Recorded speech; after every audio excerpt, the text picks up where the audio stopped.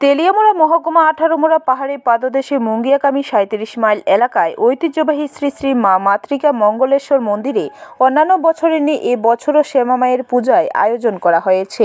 এই শ্যামা মায়ের পূজাকে কেন্দ্র করে দীর্ঘ একুশ বছর ধরে দুই দিনব্যাপী মেলার আয়োজন করা হয়। বৃহস্পতিবার জাঁকজমক ঘটা করে উদ্বোধনী অনুষ্ঠানে অনুষ্ঠিত হয় আশ্রম প্রাঙ্গণে। এই দিনের উদ্বোধনী অনুষ্ঠানে উপস্থিত ছিলেন রাজ্যের মহারাজা প্রদ্যুৎ কিশোর দেববর্মন, রাজ্য বিধানসভার উপজাতি কল্যাণ দপ্তরের মন্ত্রী বিকাশ দেববর্মা, স্বশাসিত জেলা পরিষদের কার্যনির্বাহী কমিটির সদস্য কমল কলই, অতিরিক্ত মহকুমা শাসক সহ অন্যান্য আমন্ত্রিত অতিথিবৃন্দরা।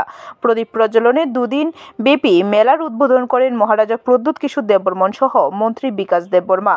জাতি সম্প্রীতি বজায় রাখার জন্য উপস্থিত বক্তারা বক্তব্য রাখতে গিয়ে বলেন, আলোর উৎসব দীপাবলি উপলক্ষে মন্ত্রী বিকাশ দেববর্মা নিজ এলাকায় ছোট বড় বিভিন্ন মন্দিরের পূজায় অংশগ্রহণ করেন। তিনি আঠারোমুড়া পাহাড়ের পাদদেশে অবস্থিত মুঙ্গিয়াকামী সাঁত্রিশ মাইল শ্রী শ্রী মা মাতৃকা মঙ্গলেশ্বর মন্দিরের ব্যাপারে বলতে গিয়ে বলেন দু হাজার তিন সাল থেকে মন্দিরে আলোর উৎসব দীপাবলি উপলক্ষে শ্যামা মায়ের পূজা এবং মেলার আয়োজন করে আসছে উদ্যোক্তারা। দূর দূরান্ত থেকে প্রচুর সংখ্যক ধর্মীয় মানুষজনেরা মেলা এবং পূজাতে অংশগ্রহণ করে থাকেন। থেকে আরও বেশি হবে। Tini volunteer এই আমাদের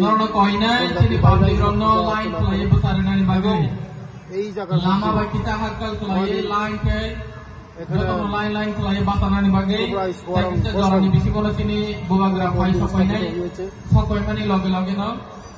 দুই হাজার Boro boro di line nai. Aini bagai থেকে kina joto ke besar nani Diwali bagai. উৎসব উদযাপিত হয়. সকল ধর্ম